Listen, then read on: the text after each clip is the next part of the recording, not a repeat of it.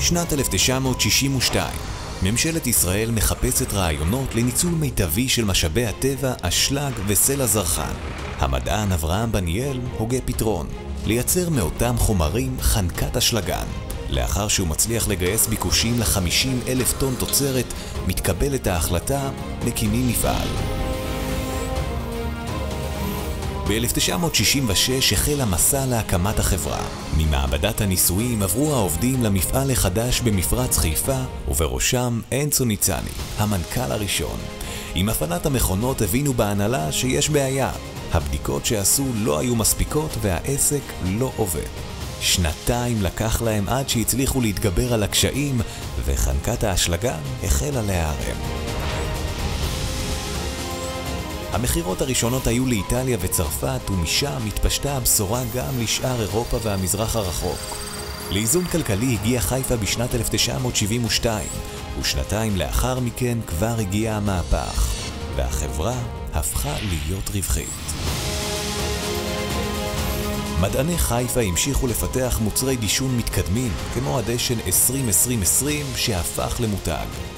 פיתוח שיטת דישון בהשקיה, שהשתלבה יחד עם המצאה ישראלית נוספת, הטפטפות, פתחה אופקים חדשים לחברה בארץ ובעולם.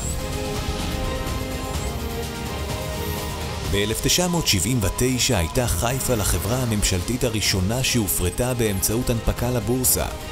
מאוחר יותר הפכה להיות חברה פרטית, וכך היא עד היום. במקביל, שינו בהנהלת החברה את האסטרטגיה השיווקית. המוצרים מותגו מחדש, העבודה הפכה להיות מול החקלאים עצמם, והשיא היה בהקמת חברות בנות ברחבי העולם. קו מוצרים חדש מצטרף להיצע של חיפה, דשן ושחרור מבוקר.